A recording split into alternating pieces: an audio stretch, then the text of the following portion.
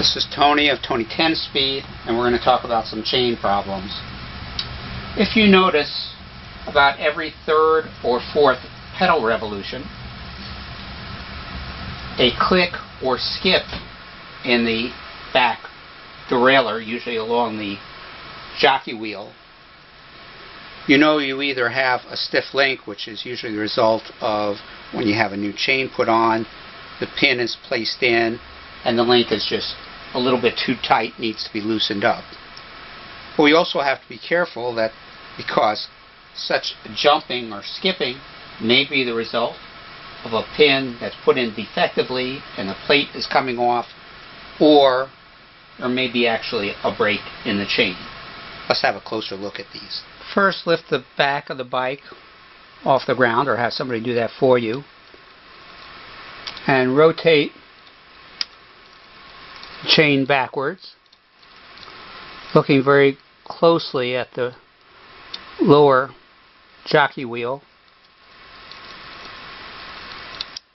And right there, right here, you can see that the there is a click and movement of the whole back derailleur. So somewhere in here we have a stiff link. And if we look closely, right at this point we can see that the chain is not straight. In fact, if we bend it, we can note that it's difficult to bend.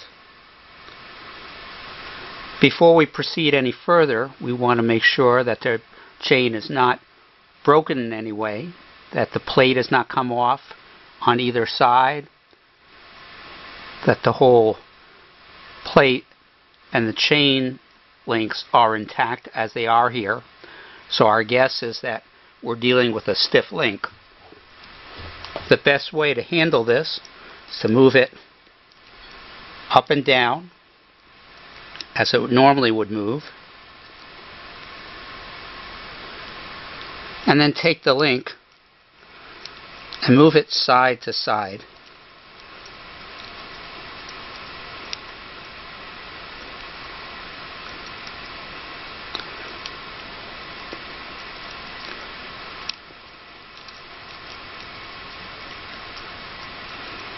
And that should free up the link.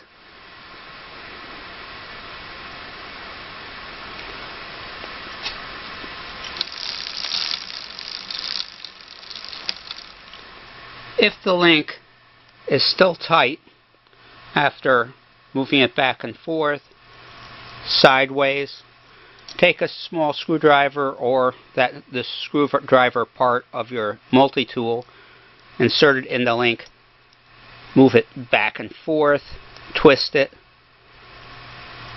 Be careful not to do it too hard or you might pop the outer plate off your roller but twist it back and forth. Let's see. Now the link should move freely. When you let go, and it does.